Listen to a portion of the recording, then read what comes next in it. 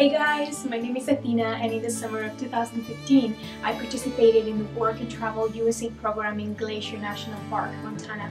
So I created this short video to tell you a little bit more about my journey and coming home from such a wonderful experience.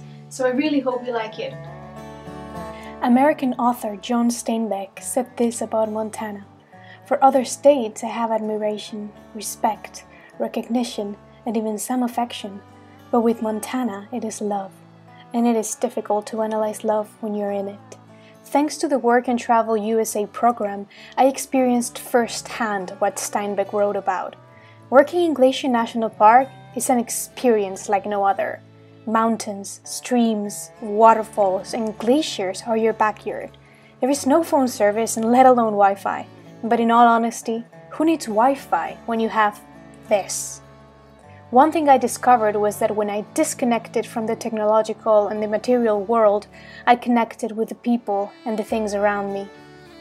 At Glacier National Park, employees are a family. We worked and spent our free time together.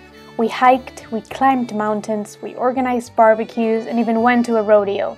Not a single American employee I met made me feel like I was a foreigner. From the very beginning, they treated me as they would another American and for that I will be eternally grateful because I can honestly say that I felt the American spirit of solidarity, kindness, and tolerance.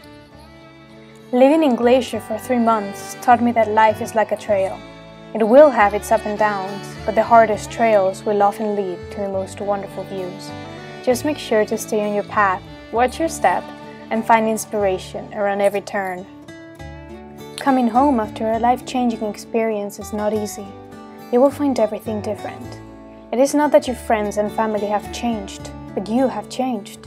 And somehow that changes everything. As a wanderer, you will never be completely at home again, because part of your heart will always be elsewhere. It has been two years since I left Montana, and I have been missing it every day since. But then I tell myself that some experiences are precious because they only happen once in a lifetime. I know I can never walk that road again, but I have the memories made along the way. Spanish poet Antonio Machado captured it perfectly. He said, Wonder, there is no road. The road is made by walking.